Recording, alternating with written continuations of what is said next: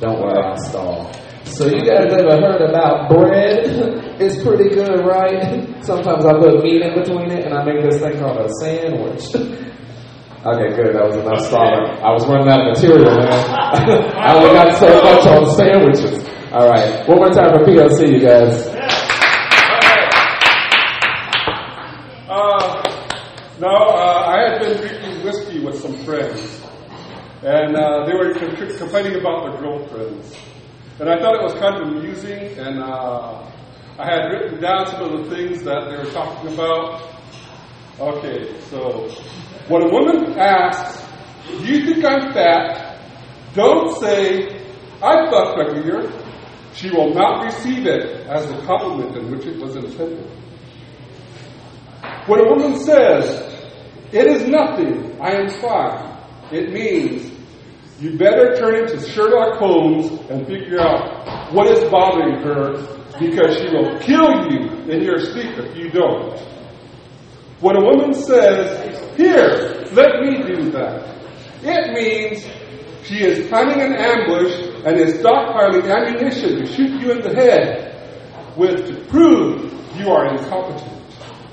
When a woman says, Does this outfit show too much skin? There is no right answer. Change the subject, exit the building, and as soon as possible. When a woman says, What are you thinking? She doesn't really care what you're thinking. She wants to tell you what she is thinking. When a, you compliment a woman's looks, she will get mad at that you are objectifying her. When you don't compliment her, she will get angry that you are ignoring her. When a woman doesn't want to pick where you where to eat, but shoots down every suggestion you make, she has decided where she wants to eat, but wants you to come up wants to come off as thoughtful. As soon as your suggestion syncs with her desire, she will say, That's a great idea.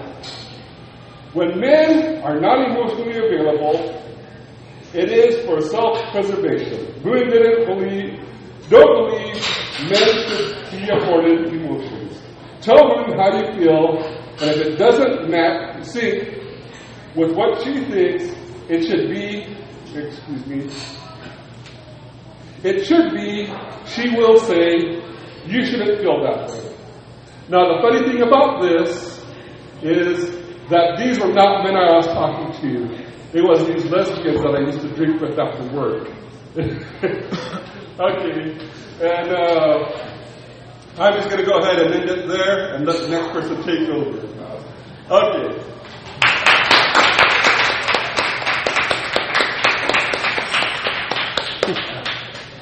Short, sweet, and to the point. I like it. I was totally ready. That's how a real host. He was paying attention. He was here the whole time.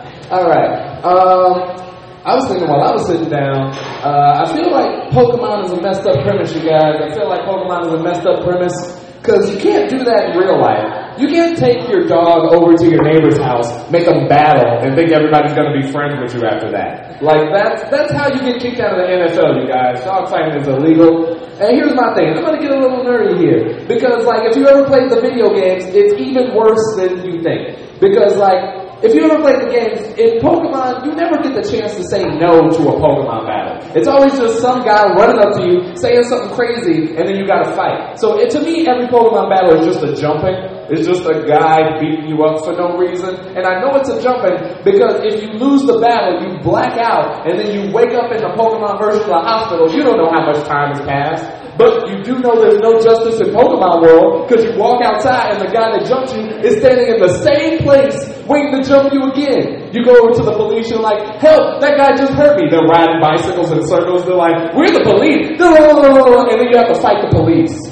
It's not a good time, you guys. Pokemon is a dangerous game, and I don't think we should keep supporting it.